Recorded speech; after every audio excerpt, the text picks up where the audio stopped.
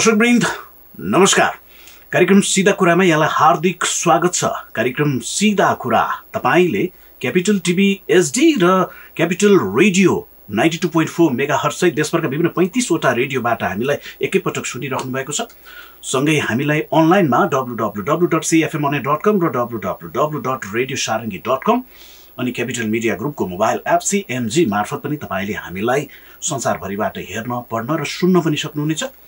कार्यक्रम सिधा कुरामा समसामयिक विषयवस्तुमा केन्द्रित रहेर हामीले संवाद गर्दै आइरहेका छौँ।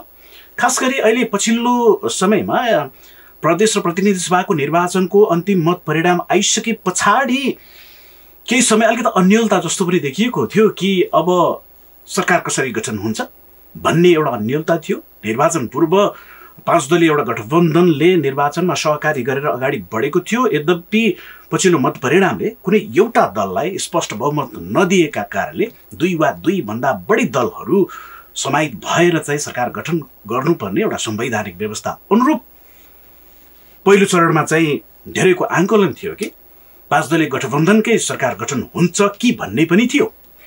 यद्यपि यो एकाएक अन्तिम समयमा आएर चाहिँ त्यो गठबन्धन भत्किएको छ। एक खालको पाँच दलीय गठबन्धन भत्किएको छ नयाँ समीकरण तय भएको छ र नयाँ समीकरणको सरकार गठन भइसकेको छ। यसले एउटा नेपालको राजनीतिमा एक खालको नयाँ तरङ्ग त नभनौँ तर एक खालको फरक खालको विश्लेषण गरिरहेको बेलामा नयाँ खालको एउटा सिनेरियो पनि देखिएको छ। अबको दिनमा चाहिँ यो नयाँ सरकार गठन हुँदै गर्दाखेरि यसले अब कसरी अगाडि बढ्ला यसको राजनीतिक भविष्य कस्तो होला? र भोलिको दिनमा उसका लागि अवसर र चुनौती के कस्ता रहला? लगायतका विविध विषयवस्तुमा केन्द्रित रहेर आज म सिधा संवाद गर्दैछु। हामीसँग हुनुहुन्छ एकजना त्यस्ता व्यक्तित्व जो अहिले प्रतिनिधि सभामा चाहिँ उहाँ निर्वाचित सदस्य पनि हुनुहुन्छ र उहाँ परिवार दलका केन्द्रीय अध्यक्ष हुनुहुन्छ। एकनाथ ढकाल आज मेरो पाहुना हुनुहुन्छ ढकालजीलाई स्वागत छ कार्यक्रम सिधा कुरामा हजुर धन्यवाद नमस्कार अब सुरुमा त मैले यहाँलाई बधाई र शुभकामना नै भने जस्तो तपाईँ अब अहिलेको हाम्रो प्रतिनिधि सभामा निर्वाचित पनि हुनु भएको छ। अर्को सन्दर्भमा मैले फेरि के पनि जोड्न खोजेँ भने अघिल्लो हप्तासम्म पनि एक खालको आङ्कलन भइरहेको थियो। नेपालको राजनीतिमा चाहिँ यो समीकरण एक खालको समीकरणको अपेक्षा धेरैले गरिरहेको थियो। यो एकाएक अलिकति अप्रत्याशित जस्तो पनि देखियो। फरक खालको समीकरणको नेतृत्वमा सरकार गठन भइसकेको छ। यो परिवेशलाई चाहिँ यहाँले कसरी हेरिरहनु भएको छ मैले त्यहाँबाट सुरुवात गरेँ। हजुर धेरै धन्यवाद मलाई आमन्त्रण गर्नुभएकोमा। म यहाँको लोकप्रिय टेलिभिजन क्यापिटल टिभीको माध्यमबाट हामीलाई निर्वाचित गर्नको लागि योगदान गर्नुहुने सम्पूर्ण आम मतदातालाई सर्वप्रथम म हार्दिक आभार व्यक्त गर्न चाहन्छु। निर्वाचन सम्पन्न भएर परिणाम पनि आइसकेको छ र निर्वाचित संसद सदस्यहरूले शपथ ग्रहण पनि गरिसक्नु भएको छ र यो पुसको पच्चिस गते संसदको अधिवेशन पनि आह्वान गरिएको छ। भने यही बिचमा देशले एउटा नयाँ सरकार पनि पाएको छ। स्वाभाविक रूपमा अधिकांशले एउटा जुन आकलन गर्नुभएको थियो कि जुन पाँच दलीय गठबन्धन निर्वाचनमा गएको थियो। उहाँहरूकै नेतृत्वमा निर्वाचन पछाडि पनि सरकार बन्ला भन्ने एउटा आचलन थियो। तर उहाँहरूले हामी दुइटै बहुमत ल्याउँछौँ भनेर जुन निर्वाचनमा जानुभएको थियो उहाँले भने जस्तो चाहिँ नै निर्वाचनमा परिणाम ल्याउन सक्नु भएन। अथवा पाँच दलीय गठबन्धनको बहुमत आएन। पाँचै दल जोड्दाखेरिमा पनि बहुमत आएन। यद्यपि नेपाली काङ्ग्रेस संसदको सबभन्दा ठुलो दल भयो प्रत्यक्षतर्फ। भने तर लोकप्रिय मतको आधारमा फेरि नेकपा एमाले चाहिँ देशको सबभन्दा ठुलो दल भयो। त्यसले स्वाभाविक रूपमा पनि अब हामीले अब देशको सबभन्दा ठुलो दलको हिसाबले नेपाली काङ्ग्रेसले नै सरकार निर्माणको अग्रसरता लियोस् भनेर खास गरी नेकपा एमालेको अध्यक्ष केपी शर्मा ओलीज्यूले चाहिँ हामी प्रतिपक्षमा नै बस्छौँ भनेर कुनै त्यो सरकार गठन गर्नको लागि अग्रसरता पनि देखाउनु भएको थिएन। तर जब पाँच दलीय गठबन्धन चाहिँ सरकार दिनको लागि चाहिँ उहाँहरू बिचको चाहिँ एकता भएन त्यो नभइसके पछाडि पछिल्लो समयमा मुलुकमा अब सरकार त दिनु पर्यो भनिसके पछाडि स्वाभाविक रूपमा देशमा सबभन्दा बढी लोकप्रिय मत प्राप्त गरेको पार्टी नेकपा एमाले को अग्रसरमा अथवा उसको एउटा प्रमुख अभिभावकत्वमा चाहिँ जुन नयाँ सरकार गठन भएको छ माओवादी केन्द्रका अध्यक्ष पुष्पकमल दाहाल प्रचण्डज्यू चाहिँ नेपालमा तेस्रो पटक उहाँ प्रधानमन्त्री हुनुभएको छ। उहाँलाई हाम्रो शुभकामना छ। र म पनि एउटा नवनिर्वाचित सांसदको हिसाबले उहाँलाई हामीले समर्थन गरेका छौँ। र अब जुन अहिले सातवटा पार्टीहरू बिचको एउटा समझदारीबाट नयाँ सरकार बनेको छ सरकारले पूर्णता पाइसकेको छैन। अवश्य पनि हाम्रा न्यूनतम साझा कार्यक्रमहरू चाहिँ बन्नेछन्। र मूलभूत रूपमा निर्वाचनको क्रममा राजनीतिक दलहरूले जनताको अगाडि राखेका जुन प्रतिबद्धताहरू हुन् ती प्रतिबद्धताहरूको सेरोफेरोमा रहेर नै न्यूनतम साझा कार्यक्रम बन्छ र यो सरकार अगाडि बढ्छ र अब यी सरकार निर्माण हुने प्रक्रियालाई हामीले स्वाभाविक रूपमा लिनुपर्छ। जस्तो यो अहिले जस्तो एउटा मैले फेरि पनि जोडिहालेँ जस्तो यो एकाएक चाहिँ जुन नयाँ समीकरण बन्यो नि यो स्वाभाविक थियो नेपालको राजनीति यहाँले समग्र हेर्दाखेरि चाहिँ यो स्वाभाविक थियो अथवा अस्वाभाविक ढङ्गले आएको जस्तो कतिपयले विश्लेषण गरिरहेको छ। त्यसमा तपाईँको टिप्पणी केही छ? अब यस्ता विषयहरू अकस्मात त आउने विषयहरू होइनन्। स्वाभाविक रूपमा पनि दलका नेताहरू बिच शीर्ष नेताहरू बिच अनि विभिन्न तहका नेताहरू बिच संवादहरू नभएका होइनन्। यस अगाडि पनि भइरहेको थियो संवादहरू भएका थिए। विभिन्न लेभलमा संवादहरू भएका थिए। यद्यपि त्यो संवादले चाहिँ एउटा परिणाम ल्याइसकेको थिएन। तर मलाई जहाँ जहाँसम्म लाग्छ ती पर्दा पछाडि भएका जुन संवादहरू हुन् त्यसले चाहिँ अन्तिम समयमा भने पनि यो किसिमको परिणाम ल्याउनको लागि योगदान गर्यो भन्ने मलाई लाग्छ। त्यसमा मूलभूत रूपमा केपी शर्मा ओलीज्यूको जुन कुशल नेतृत्वको कारणले नै यो सम्भव भयो भन्ने मलाई लाग्छ। हुन त एक हातले ताली बज्दैन। होइन हात मिलाउनलाई पनि दुवै हात चाहिँ के भन्दाखेरिमा अग्रसर हुनुपर्छ। त्यसमा अब पुष्पकमल दाल प्रचण्डज्यू अब केपी शर्मा ओलीज्यू लगायत जे जति सात दलका साथीहरू हुनुहुन्छ जसले चाहिँ एउटा समझदारी गर्नुभएको छ सबैको नै योगदान र छ। तर पनि यसमा प्रमुख योगदान भनेको चाहिँ खास गरी नेकपा एमालेका अध्यक्ष केपी शर्मा ओलीज्यूको कारणले गर्दाखेरिमा नै यो नयाँ किसिमको चाहिँ समीकरण बनेको छ। मलाई लाग्छ यो जनताबाट अपेक्षित पनि हो। किनकि तपाईँले निर्वाचनको क्रममा हेर्नुहुन्छ भनेदेखि म आफै पनि प्राय सबै प्रदेशमा पुगेँ। म दर्जनौँ जिल्लामा पुगेँ। र म खास गरी तपाईँलाई अवगत छ म नेपाल परिवार दलको अध्यक्ष भए पनि नेकपा एमालेसँगको सहकार्यमा चुनाव चिन्ह सूर्य लिएर नै म नेकपा एमालेको तर्फबाट नै समानुपातिक उम्मेद्वार थिएँ र अहिले निर्वाचित म भएको छु। त्यो अर्थले गर्दाखेरिमा मैले नेकपा एमालेका साथीहरूको साथीहरू सँगसँगै दर्जनौँ ठाउँहरूमा म निर्वाचनमा गएँ। हजारौँ लाखौँ जनताहरूसँग संवाद गर्ने मैले अवसर पाएँ। र मैले त्यहाँ अनुभूति गर्थेँ कि सबैको चाहना भनेको मक्सिर चार ओली सरकार। र मक्सिर चार पछाडि चाहिँ नेकपा एमालेको अध्यक्ष केपी शर्मा ओलीको नेतृत्वमा नै सरकार निर्माण हुनुपर्छ भन्ने अधिकांश मतदाताहरूको अधिकांश चाहिँ देशवासीहरूको चाहिँ त्यो चाहना थियो।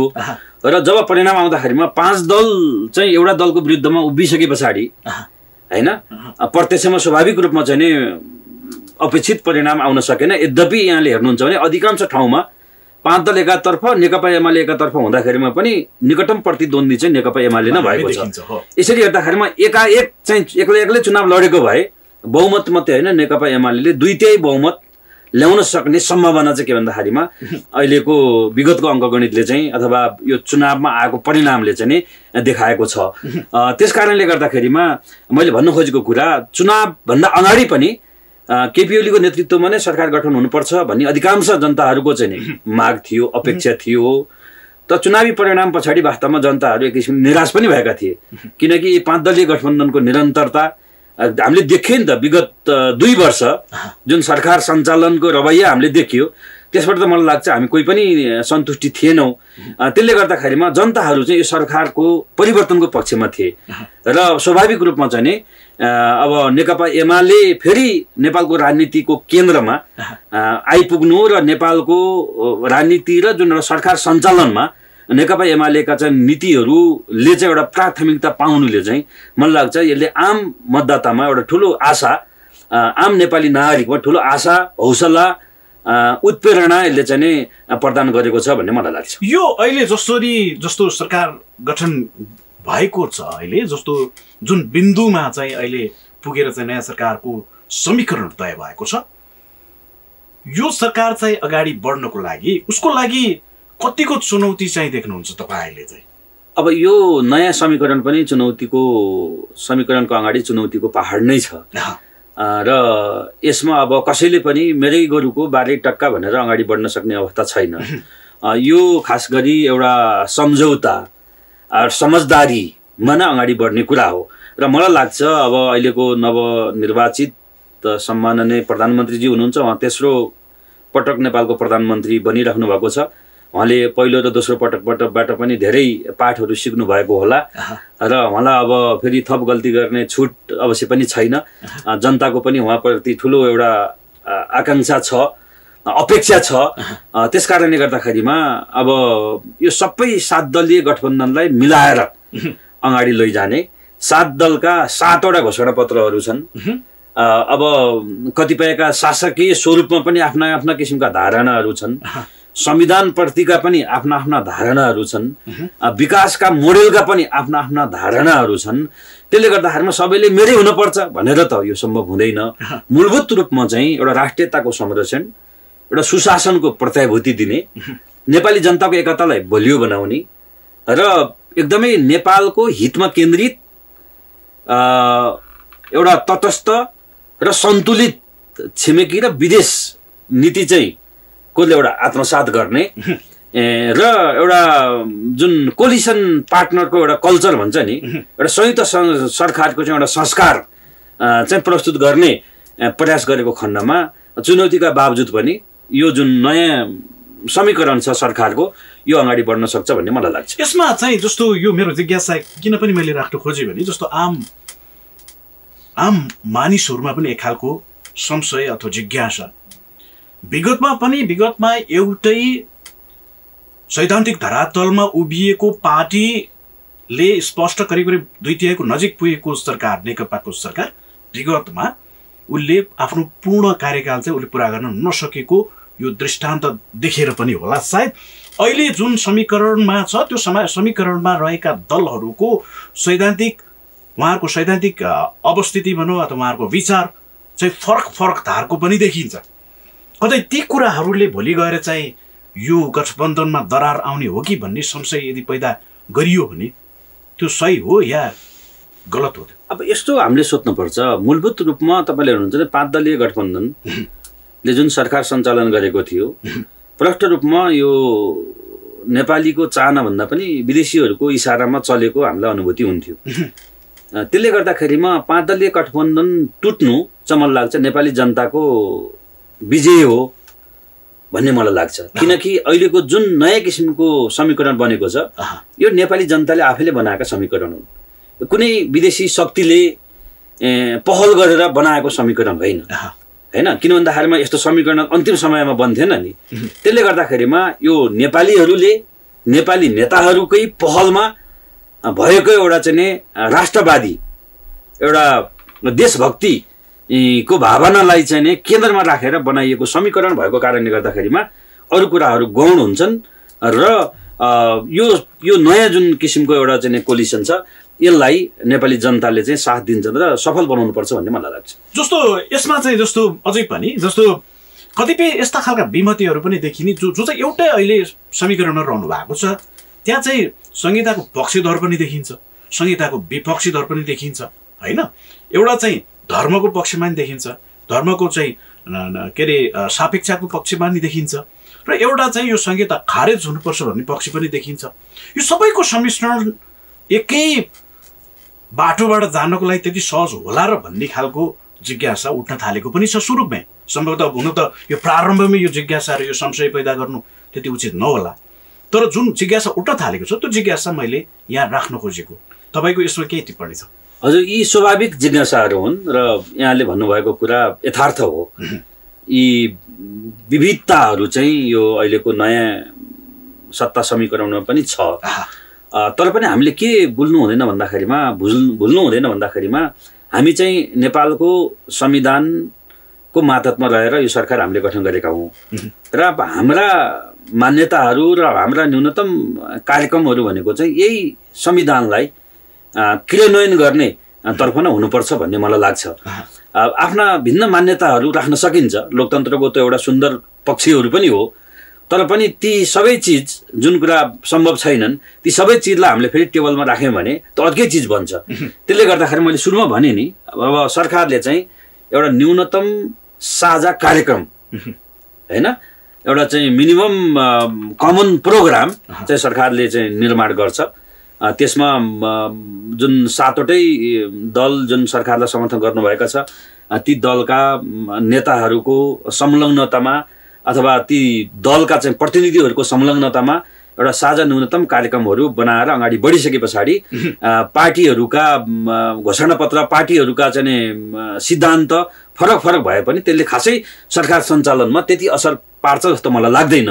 किन भन्दाखेरिमा अहिले मूलभूत रूपमा चाहिँ नेपालमा चाहिँ एउटा विकास निर्माणलाई अगाडि बढाउने हो। र प्रधानमन्त्रीज्यूले पनि आफ्नो पद बहालीसँगै भन्नुभएको छ कि मेरो प्रमुख कार्यभार भनेको चाहिँ नेपालको जुन अर्थतन्त्र बडो एउटा अप्ठ्यारो अवस्थामा छ। यसलाई चाहिँ के भन्दाखेरिमा एउटा एउटा सबल बनाएर अगाडि लैजाने भनेर भन्नुभएको छ। त्यसमा त पार्टीहरूका जुन जे जस्ता किसिमका विचारहरू भए पनि अर्थतन्त्रलाई सबल बनाउने राष्ट्रियतालाई बलियो बनाउने सुशासनको प्रत्याभूति दिने भन्ने कुरामा कसैको पनि दुई मत हुँदैन।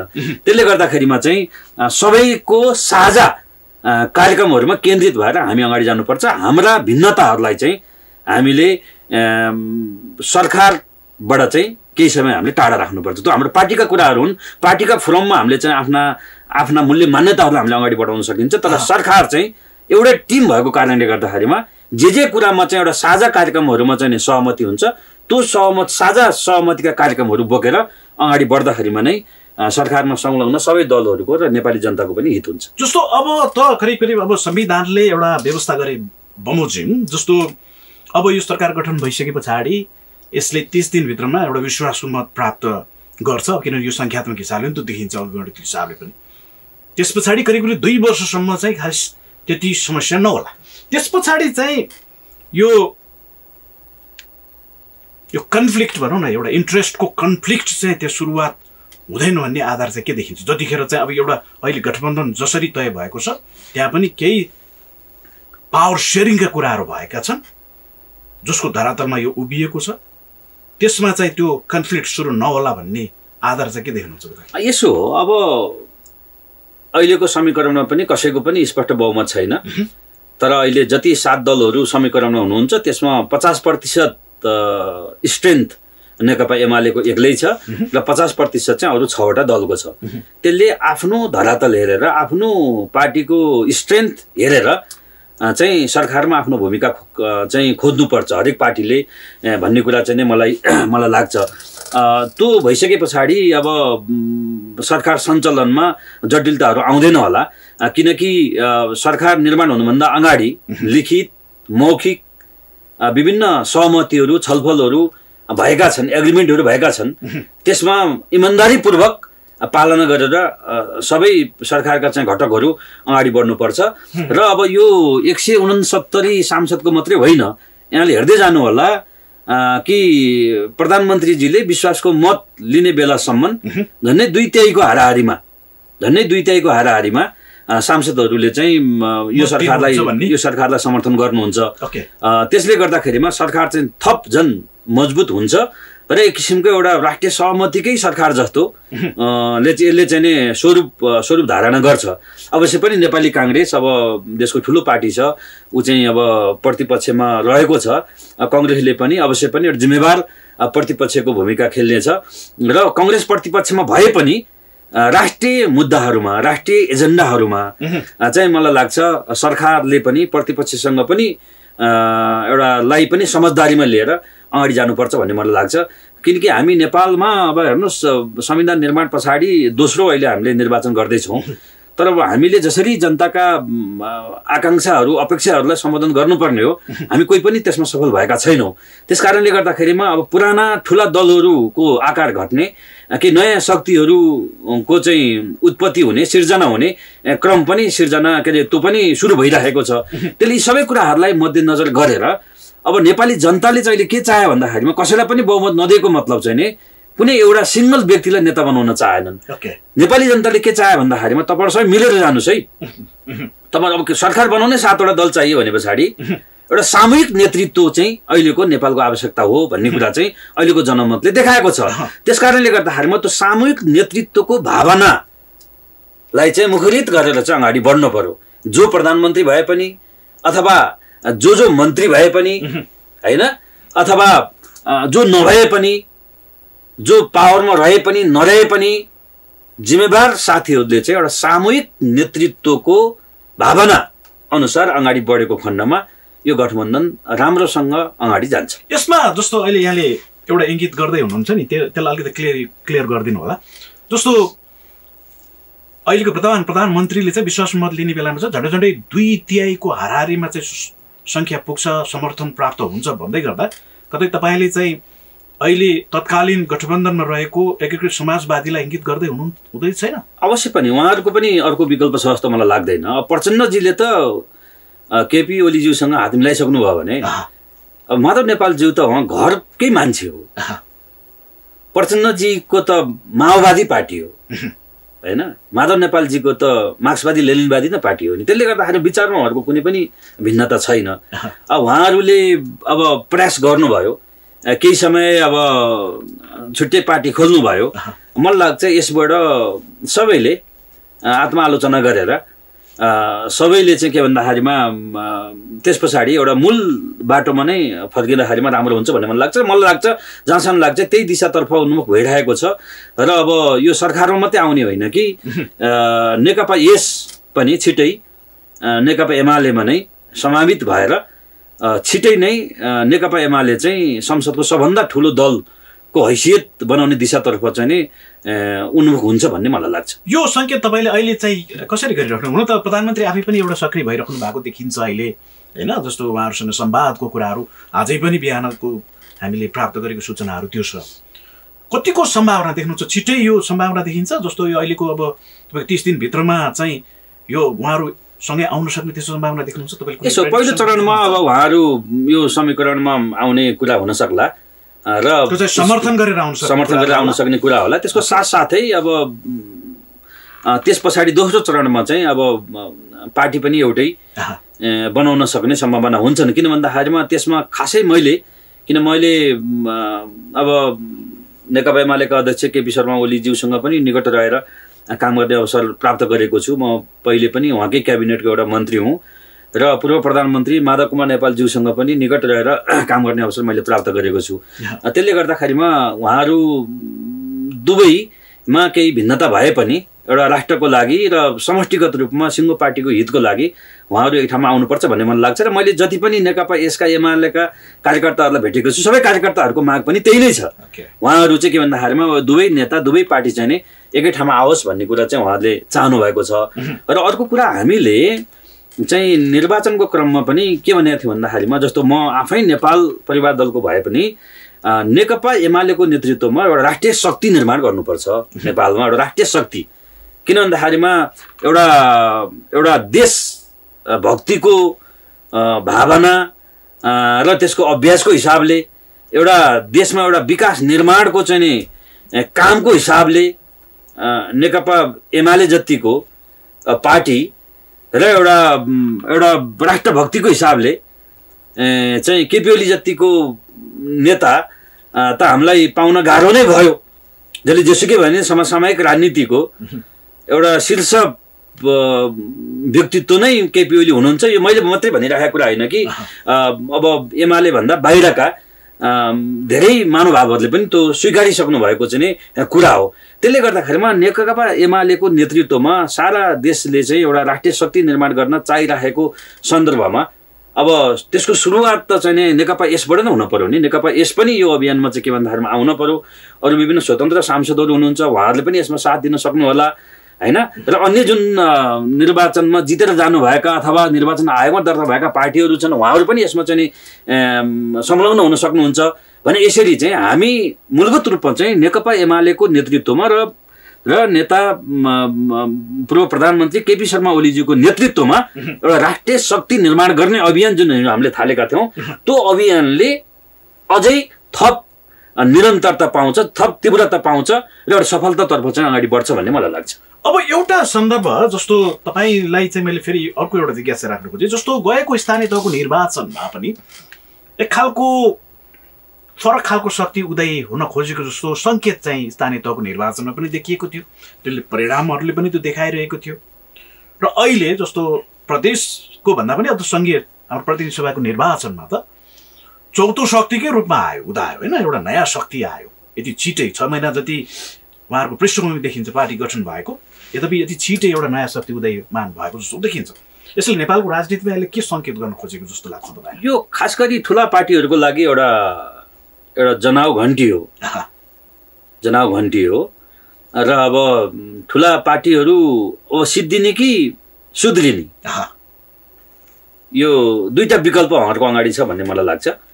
र अवश्य पनि यसबाट उहाँहरू पाठ सिकेर अगाडि अगाडि बढ्नुहुन्छ। र नेपालमा अझै पनि प्रमुख पार्टीहरू अब कङ्ग्रेस एमाले जस्ता जुन दलहरू हुन् जसको एउटा लामो इतिहास छ र धेरै अनुभव सङ्घालेका देशका लागि धेरै योगदान गरेका व्यक्तित्वहरू यसको चाहिँ नेतृत्व पङ्क्तिमा हुनुहुन्छ। त्यसैले गर्दा यी पार्टीहरूको उपाध्यता चाहिँ नै सकिएको छैन। यी पार्टीहरूको उपाध्यता छ। यी पार्टीहरूले नै अहिलेको वर्तमान परिप्रेक्ष्यमा नेपालको सामाजिक आर्थिक रूपान्तरण गर्ने हो। जनताले पनि पत्याएको उहाँहरूलाई नै हो। त्यसले गर्दाखेरिमा यो स्थानीय निकायको निर्वाचनको परिणाम र अहिलेको प्रतिनिधि सभाको चाहिँ निर्वाचनको परिणामले अवश्य पनि ठुला पार्टीहरूले पाठ सिकेर अगाडि बढ्नुहुन्छ भन्ने मलाई लाग्छ। र यी नयाँ पार्टीहरू आउनु मेरो विचारमा चाहिँ असाध्यै फेरि हो राम्रो विषय हो। यसले के भन्दाखेरिमा नयाँ नेतृत्व जनताले चाहिँ त्यसको चाहिँ नि परीक्षण गर्न पनि पाउँछ र नयाँ नेतृत्वले पनि आफूले काम गरेर देखाउने अवसर पाउँछ। जनतालाई यही पार्टी उही पार्टी भन्ने छैन। जनतालाई जसले काम गर्छ त्यही पार्टी चाहियो। जुन जुन नेताले डेलिभर गर्न सक्छ तिनै नेताहरू चाहिएको छ। त्यसले गर्दाखेरि नयाँ आएका पार्टीहरूलाई नेतृत्वलाई पनि मेरो शुभकामना नै छ। त्यो कतिको सहज देख्नुहुन्छ? जस्तो तपाईँले एउटा चाहिँ हाम्रो नेपालको राजनीतिको कुरा गर्ने भने लामो एउटा पोलिटिकल लिगेसी भएको पार्टीहरू पनि हुनुहुन्छ। अहिले भर्खरै उदयमान भएका पार्टीहरू अहिले जसरी नेतृत्वमै आइसक्नु भएको छ सरकारकै नेतृत्व गर्नुभएको छ व्यवहार तहमै उहाँहरू नेतृत्वमा आउनु भएको छ। उहाँहरूले चाहिँ विशेष त अहिले नयाँ नेतृत्वको कुरा गर्दाखेरि नयाँ शक्तिको कुरा गर्दाखेरि चाहिँ उहाँहरूको लागि यहाँको सुझाव चाहिँ के हुन्छ? उहाँहरूले के के कुरामा चाहिँ चुक्नुहुन्न उहाँहरूको लागि त्यो चुक्ने चाहिँ कुनै पनि उहाँहरूको लागि अप्सन छैन। सुझाव चाहिँ यहाँको के हुन्छ? मलाई लाग्छ जुन प्रतिबद्धता उहाँहरूले मतदातामा गर्नुभएको छ ती प्रतिबद्धता परिपूर्ति गर्नेतर्फ उहाँहरू लाग्नुपर्छ भन्ने मलाई लाग्छ। राजनीति भन्ने कुरा अब सरकार सञ्चालन गर्ने भन्ने कुरा आवेग उत्तेजनाबाट हुने कुरा होइन। यो एउटा विवेकबाट सन्तुलनबाट समझदारीबाट जिम्मेवारीबाट उत्तरदायित्व वहन गरेर चाहिँ हामीले सरकार सञ्चालन गर्ने हो। त्यस कारणले हिजो सडकमा बस्दाखेरिमा बोल्ने विषय र भोलि झन्डा बोकेर हिँडिसके पछाडि बोल्ने विषयहरू अवश्य पनि के भन्दाखेरिमा फरक हुन्छन्। त्यसले उहाँहरूले एउटै त पुराना पार्टीहरूप्रति किन जनताको विस्तृष्णा फैलिएको छ? भन्ने कुराहरू पुराना पार्टीहरूको काम गराइबाट पनि सिक्नु पर्यो। र मूलभूत रूपमा खास गरी राष्ट्रियतालाई संरक्षण गर्ने सुशासनको प्र- प्रत्याभूति गर्ने र जनतालाई डेलिभरी गर्ने। यिनीहरू ठुल्ठुलो कुराहरू पनि चाहिए होइन। जस्तो म केही दिन अगाडि राहदानी विभागमा पुगेँ कि त्यो अत्यास लाग्दो किसिमको अवस्था थियो। एउटा पासपोर्ट लिनको लागि राहदानी लिनको लागि होइन? त्यहाँ अब सयौँको चाहिँ लाइन थियो। भनेपछि त्यहाँबाट सुरु गर्नु पऱ्यो नि त। अब यो सरकारले त्यो त्यो अवस्थालाई चाहिँ अन्त्य गर्नु पर्यो जनतालाई सर्वसुलभ तरिकाले चाहिँ के भन्दाखेरिमा उनीहरूले पाउने सुविधा चाहिँ हामीले दिनु पर्यो। यस्ता सानातिना कामहरू अन्त्य गर्ने भ्रष्टाचारप्रति चाहिँ सुन्ने सहनशीलताको चाहिँ नीति लिने होइन? र जनताको कामहरू छिटो छरितो हुने। यस्ता कामहरू चाहिँ उहाँहरूले गर्न सक्नु भएको खण्डमा अवश्य पनि जनताको विश्वास उहाँहरूले थप थप जित्नुहुन्छ र जुन नयाँ पार्टीहरूको अहिले उदय भएको छ उहाँहरू फेरि पुरानो पार्टीहरूले चाहिँ गल्ती गरेर भनौँ न गल्ती गर्ने छुट उहाँहरूलाई छैन। त्यसमा उहाँहरू थप जिम्मेवार भएर अगाडि बढ्नुहुन्छ भन्ने चाहिँ मेरो अपेक्षा छ। जस्तो यो अब नयाँ शक्तिहरू उदय हुँदै गर्दाखेरि तपाईँले नेतृत्व गर्नुभएको पार्टी यसको एउटा पुरानो फेरि अलिकति इतिहास पनि छ। यो पार्टी अहिले नयाँ शक्तिहरू जसरी उदय भइराख्नु भएको छ तपाईँहरू आफै पनि उत्साही हुनुहुन्छ होइन? पार्टीको लागि पनि तपाईँहरूको लागि पनि ऊर्जा नै होला। तपाईँहरूको अब भूमिका चाहिँ के हुन्छ? तपाईँहरू कसरी अगाडि बढ्नुहुन्छ? हेर्नुहोस् अब नेपाल परिवार दल पनि आफैमा एउटा नयाँ शक्ति हो। किनकि हामीले पहिलो संविधान सभाको निर्वाचनभन्दा केही महिना अगाडि मात्रै पार्टी गठन गऱ्यौँ र पहिलो संविधान सभामा हामीले प्रतिनिधित्व गऱ्यौँ संविधान निर्माणलाई हामीले योगदान गऱ्यौँ। दोस्रो संविधान सभामा हामी दुईजना सभासद संलग्न रह्यौँ र संविधानको हस्ताक्षरकर्ता पनि हामी हौँ। हामीले संविधान निर्माण गर्नलाई नेपाल परिवार दलले योगदान गर्यो। र त्यस पछाडि अब संविधान निर्माण भइसके पछाडि चाहिँ हामीले मुलुकमा एउटा राजनीतिक स्थायित्व चाहिन्छ मुलुकमा विकास चाहिन्छ समृद्धि चाहिन्छ भनेर चाहिँ अब हामीले नेकपा एमालेलाई समर्थन गरेर योभन्दा अघिल्लो निर्वाचनमा पनि नेकपा एमालेको चुनाव चिन्ह सुले लिएर नै म निर्वाचनमा चाहिँ उम्मेदवारी भएको थिएँ। र हामीले प्रत्यक्ष समानुपातिक दुवैतर्फ चाहिँ सूर्य चिन्हमा नै हामीले मतदान गऱ्यौँ। यद्यपि त्यो बेलामा हामी निर्वाचित हुन सकेनौँ। त्यस पछाडिको स्थानीय निकायको निर्वाचनमा पनि हामीले सूर्य चिन्हबाट नै सहभागी भयौँ।